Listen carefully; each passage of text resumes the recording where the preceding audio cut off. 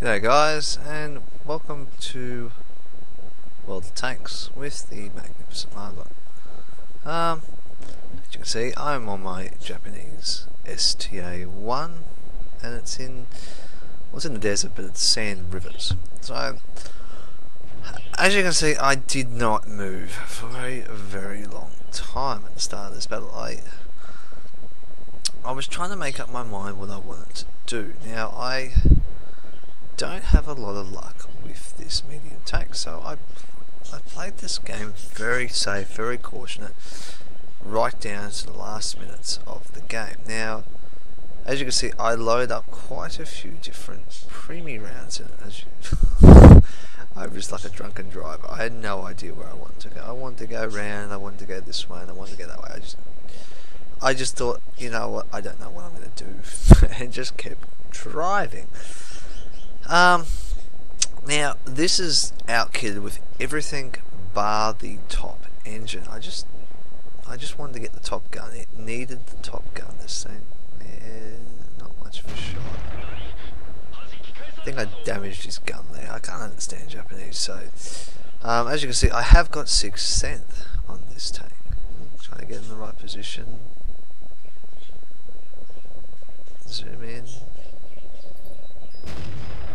Just over the top marble. Um, so yeah, it was sort of one of those games where I just sort of I didn't do a lot in this battle, but I actually did really well. Now, when I needed to, it count. This gun sucks at distance. It's not too bad though. Like it's only it's only 400 meters away. Finally, I got a hit on him. So, as you can see, Six Sense come up saying, "Hey, you've been spotted." Took another shot, got out of there, went back into hiding.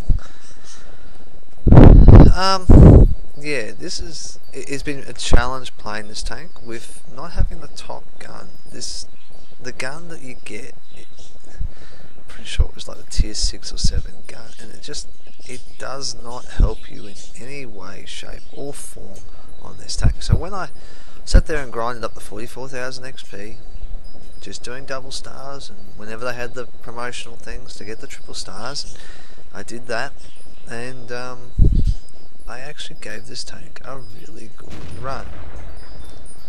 Um, and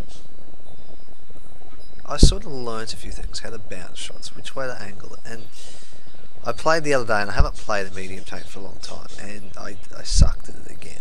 It was just too difficult because I've, I've been playing a lot of heavy tanks lately, as you know, with the Tiger 1, the STA, or I've been playing my British TD, which is the AT2, or I was playing my um, T25 Type 2 TD, American. So I've I've been playing not really a medium tank class. Um, I do like the medium tank class because they've got that mobility to get around the map and do some damage when it counts. Now, as you can see, I still really haven't left our starting area. But then again, the IS-3 beside me hasn't left it at all. And I've just been running around taking pot shots wherever I can. Now, what I thought I'd do is I'd run over this way, crest over this hill, and shoot them all. Then I saw these two over to my right there, the KV-2 and the IS-6. went, oh bugger, okay. Right, well, no depression, time to get out of here. KV-2 will do some damage. So I headed up this way, made it look like I ran away. Hopefully I disappeared. And, um, sure enough, I hadn't really disappeared. I came back looking for these guys. Still couldn't find them. Couldn't see them. They couldn't see me. Six Sense had gone off. So I thought, you know what, it's time to move into another position where I can, well, wail down upon everyone. So of course I've gone, well, I'm going to go after the 34. I'm going to go up this hill.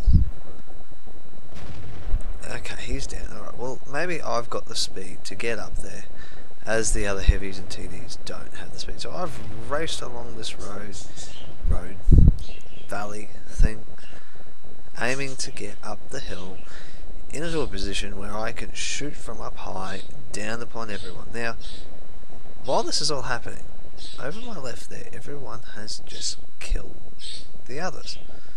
Um, and I went, well, what was the point of me coming up here? It, it, it's now redundant.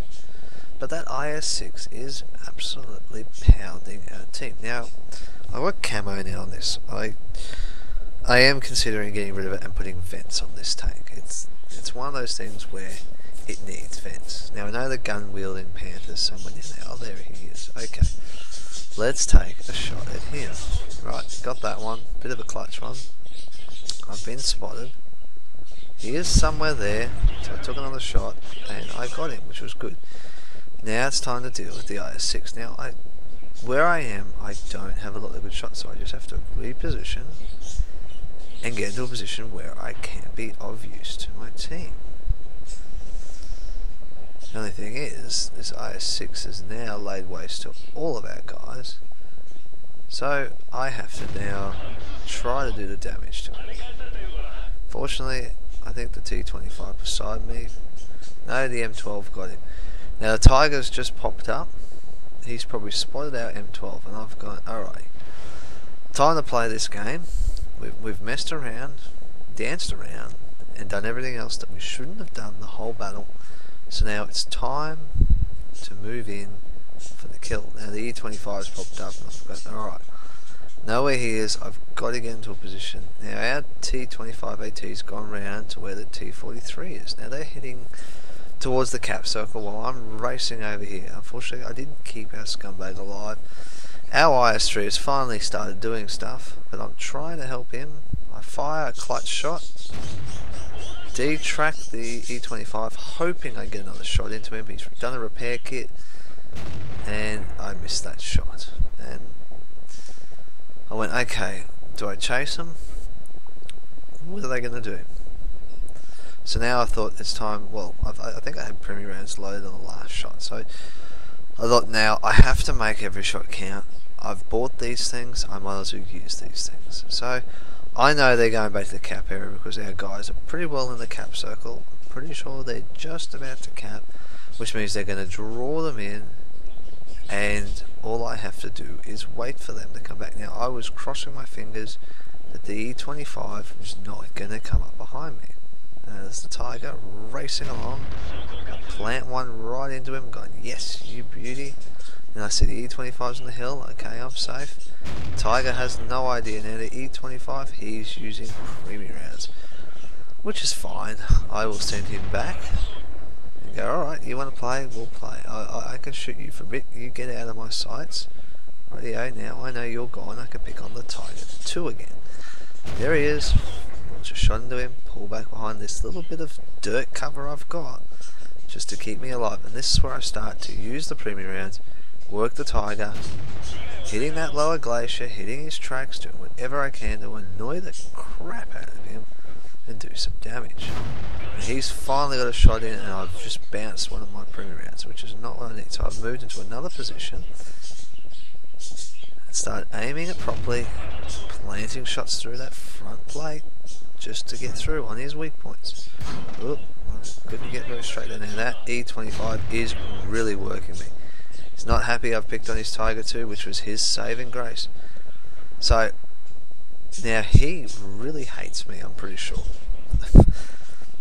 so he's gone tearing off towards the cap circle. And now I'm more afraid I'm going to lose the sight on him. And I'm not going to be able to kill him or do anything on my team. So I've planted my foot on that accelerator, holding it down, hoping to get it.